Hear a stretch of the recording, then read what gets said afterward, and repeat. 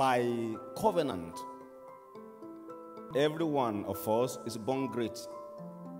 You have greatness in your DNA.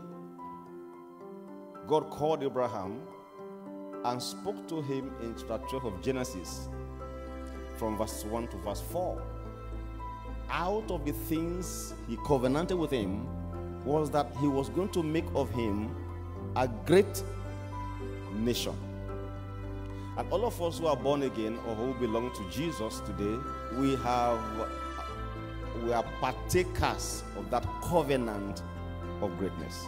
Greatness is not just what we have. greatness must be what we do. Greatness is not a position we attain, it is who we are and the things that we must be doing. Greatness is your ability to take charge of your environment and of situations. It's one thing to possess something, it's another to exercise that thing you possess.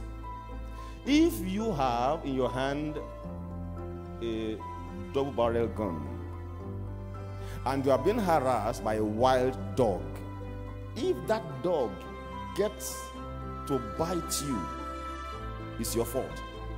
You see, greatness doesn't allow a fall to finish them. You are allowed to fall. It's permitted. Everybody had failed at something before. Eh, There's no one who hasn't failed at something. If you went to medical school and you scored uh, 80, 87%, 90%, 92%, let's even use 97%. That's the first class. So you fail 3%. So if if you have a patient that comes your way for medical check or medical attention in the 3% that you failed, it's only a risk. Everybody has failed at something before. You don't you don't drown by falling in the water. Not over me. For when I fall, I'll rise again. So you are rising this morning. God has embedded inside you the chip for greatness.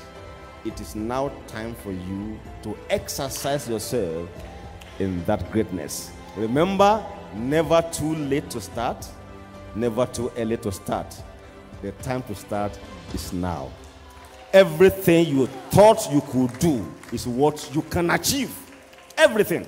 Everything. Everything. Everything